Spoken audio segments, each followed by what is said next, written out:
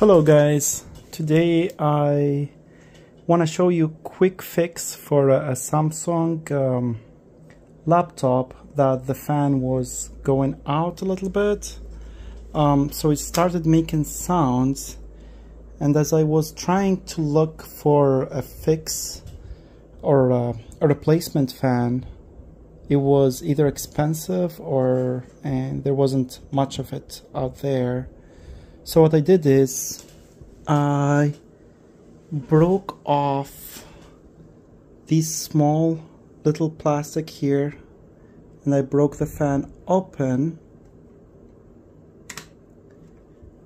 I basically pulled the fan off I blew in it I put it back I connected this back. Now I'm just warming the um, the hot glue gun to just melt this plastic back.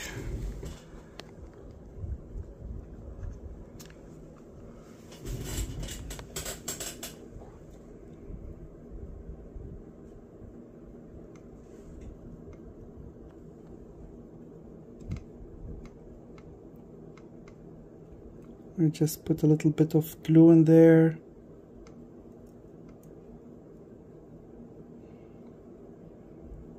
not too much just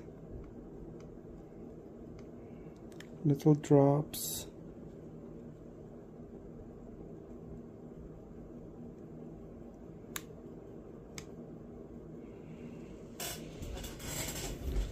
That'll be enough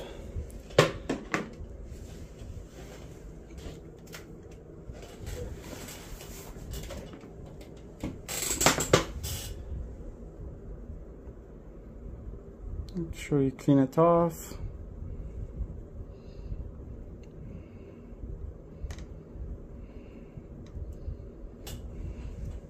Any excessive glue in there so it doesn't interfere with the functionality of the fan.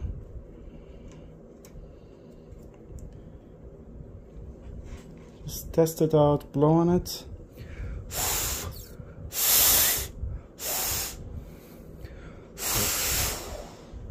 Seems to be working with no noise, no abnormal noise.